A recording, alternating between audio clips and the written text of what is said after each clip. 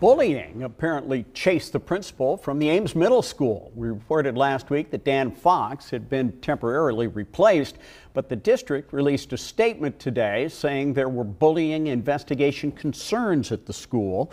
And a district spokeswoman says the concerns were due to student to student bullying. The Ames High School principal is now overseeing the middle school. Fox is still employed by the Ames School District.